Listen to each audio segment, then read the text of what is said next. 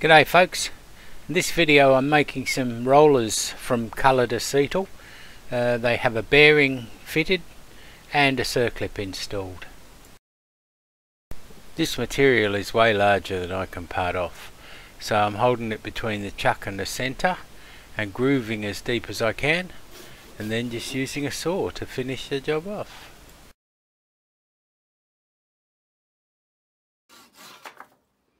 I'm making multiple parts out of this piece of material so the idea is to drill it first and then bore it right through to 42 diameter which is the size that it needs to be before the bearing bore is put into the piece.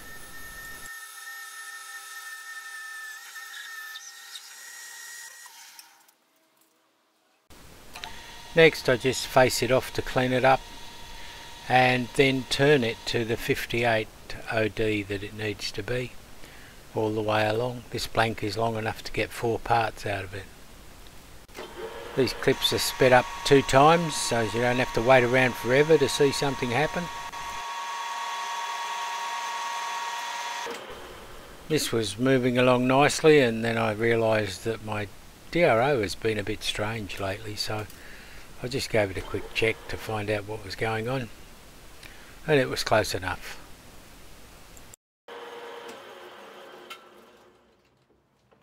Here I'm using a left hand boring bar. These make it so much easier to see what you're doing. You do have to remember to turn the lathe on in reverse and in my case change the position of the feed lever too.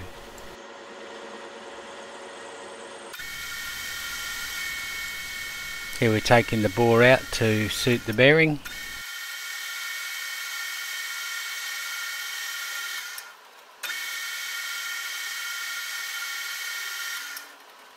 Here we're looking at a grooving insert in an internal threading bar. They work really great. Here we're looking at the grooving tool in action. Unfortunately you really don't see much because it gets messy real quick.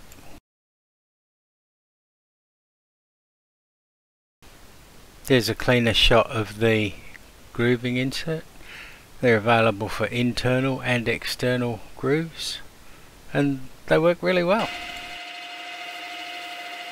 Right, now I go in with the groove just far enough to be able to use a double chamfer tool. Which you can see there, that's the only tool I use in high speed steel, everything else I use is carbide.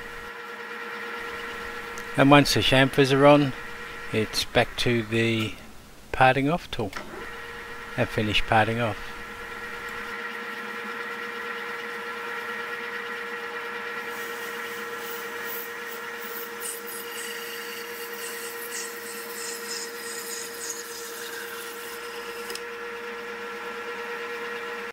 Here's the finished roller, ready for its bearing and circlip to be installed.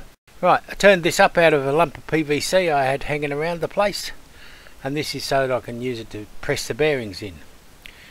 And that yellow spacer, should it look familiar to anybody, it's uh, in a previous video.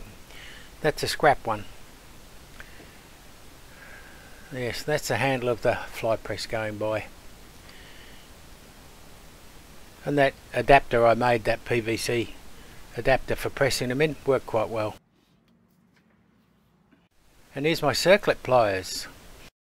So the bearings are in the circlip grooves are cut. Let's see if we can install some circlips.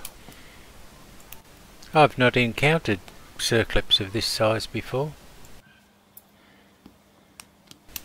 And already it's not going very well is it Oh, go on, tell me that they come much larger. Yeah, I know, but I've never dealt with larger ones myself.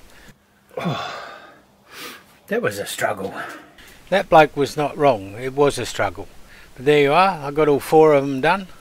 I think I can see a video in my future where I buy a larger pair of circlip pliers. Yeah. Ah, I'll let you know if that happens. Right, that's about it. So, leave us a comment.